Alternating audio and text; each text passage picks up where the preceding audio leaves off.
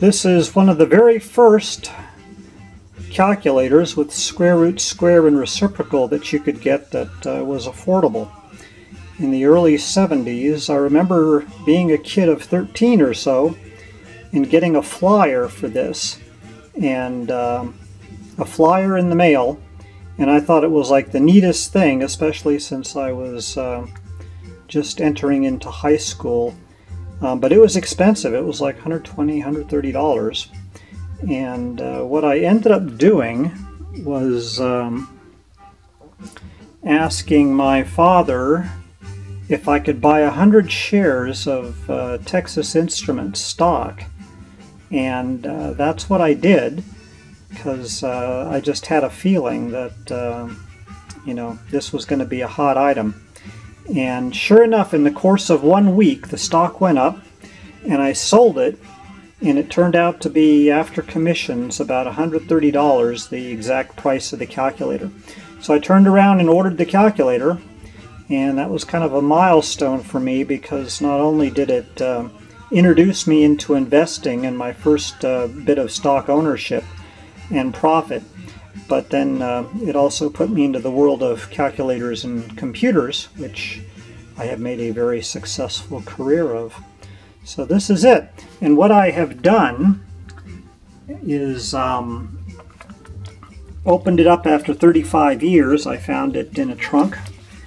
And um, this is what it looks like inside.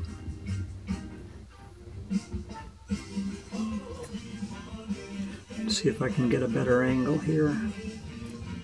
Oh my, I've just voided the warranty. Imagine that.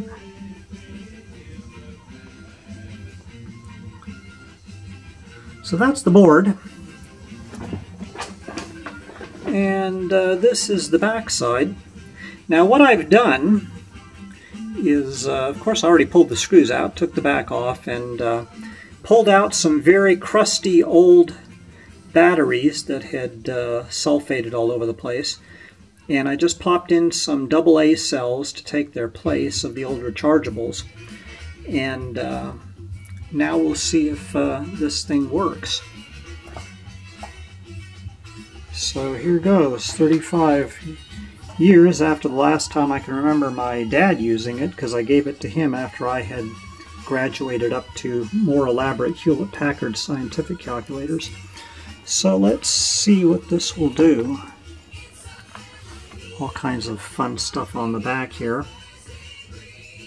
see if we can read that.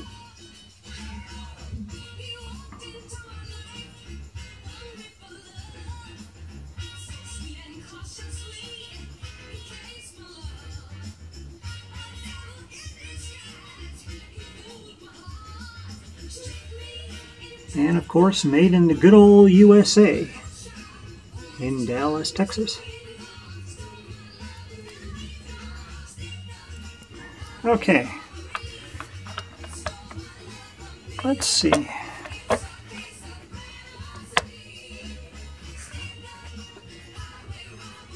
All right, we've got a zero. That's good. Let's try something here. Three reciprocal and we've got digits. It works. That's a good thing.